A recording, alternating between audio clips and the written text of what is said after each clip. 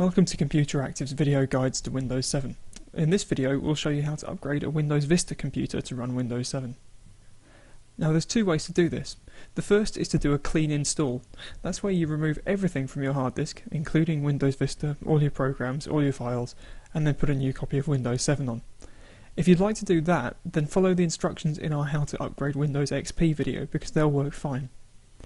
What we'll do in this video is we'll install Windows 7 over the top of Windows Vista as an upgrade. So this leaves all your programs and files in place, but replaces Vista with Windows 7. Now, before you can do this, there are a couple of things you need to check.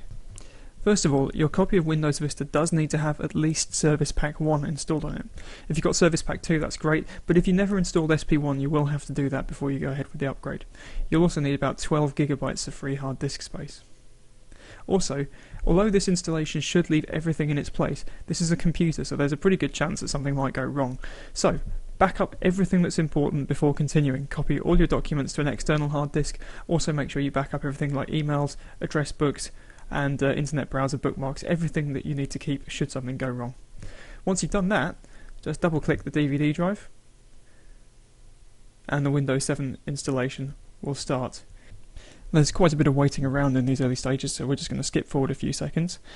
And here's the option to install now, so we'll click that.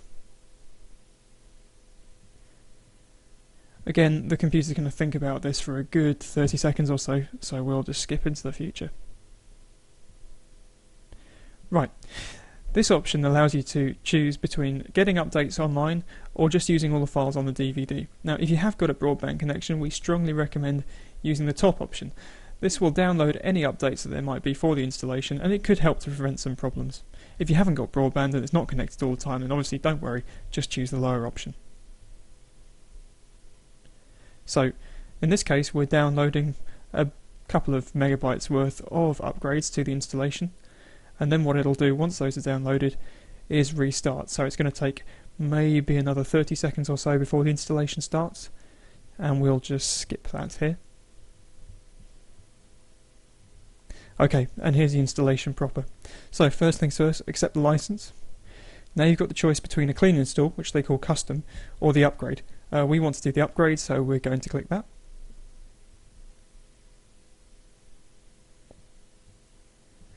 and it's just going to check for any compatibility problems. Now this has actually thrown up a problem with our audio driver.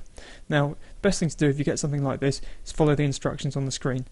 For the sake of an easy life we're just going to continue and we'll fix this later. So here we go, the Windows installation is now starting.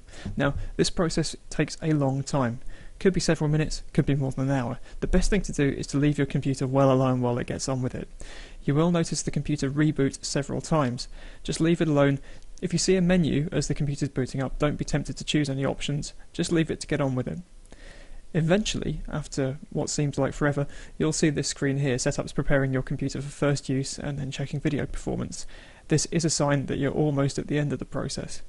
This is just the final stage of preparing the computer, and in a moment we'll get a chance to choose all the options. So, first of all, you'll be asked to type in your product key. If you have a product key from the box of Windows 7, then do that. We're just going to skip ahead here, we'll activate it later. Obviously, choose to use the recommended settings for security, it's the best thing to do. And uh, you can adjust the clock if you really need to. Uh, ours is fine, we'll just click next. We're already connected to a network, so we're going to tell it that it's a home network, it's a safe place to uh, connect to the internet. If you're not connected to the network, you won't even see this option, obviously.